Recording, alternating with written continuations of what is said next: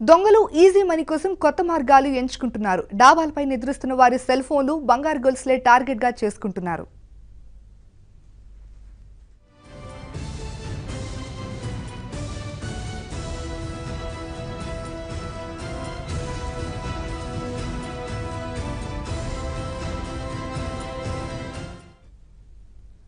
తాజాగా హైదరాబాద్ ఎస్ఆర్ నగర్లో ఓ వ్యక్తి రాత్రి సమయంలో నిద్రిస్తున్న యువకుల నుంచి రెండు ఖరీదైన ఫోన్లు చోరీ చేశాడు.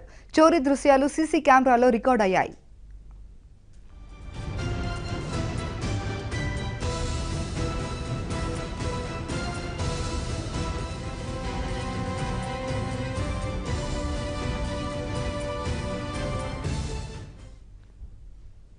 గోడ దూకి వచ్చిన దొంగ దర్జాగా రెండు ఫోన్లను ఎత్తుకెళ్ళాడు. ఘటనపై పోలీసులు కేసు నమోదు చేసి దర్యాప్తు చేస్తున్నారు.